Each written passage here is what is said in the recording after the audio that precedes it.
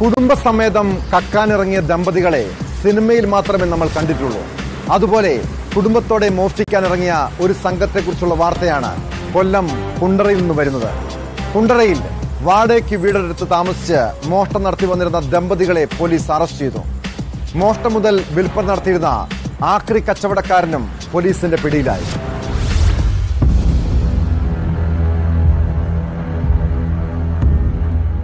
കണ്ണൂർ സ്വദേശി സലീം ഭാര്യ ചിറയൻകീഴ് പെരുമാതുറ സ്വദേശിനി ഹസീന ആക്രിക്കട വ്യാപാരി മസ്ഹർ എന്നിവരാണ് പിടിയിലായത്. കുണ്ടറ ഇളമ്പള്ളൂർ അമ്പിപ്പൊയ്കയിൽ ദുർഗാക്ഷേത്രത്തിൽ നിന്നും വലുതും ചെറുതുമായ വിളക്കുകൾ മോഷ്ടിച്ചതിനാണ് ദമ്പതിമാരെ അറസ്റ്റ് ചെയ്തത്. മോഷണ മുതലുകൾ വാങ്ങി വിൽപ്പന നടത്തിയിരുന്നതിനാണ് മസ്ഹർ പിടിയിലായത്.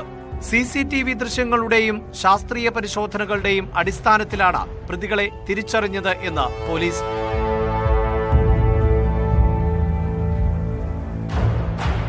തൃശൂർ ചാവക്കാട് സ്റ്റേഷനിൽ രണ്ട് മോഷണ കേസുകളിൽ ഇരുവരും ജയിൽ ശിക്ഷ അനുഭവിച്ചവരാണ്.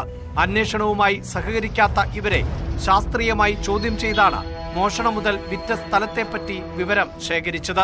പ്രതികളെ കസ്റ്റഡിയിൽ വാങ്ങി കൂടുതൽ ചോദ്യം ചെയ്യാനുള്ള തയ്യാറെടുപ്പിലാണ് പോലീസ്.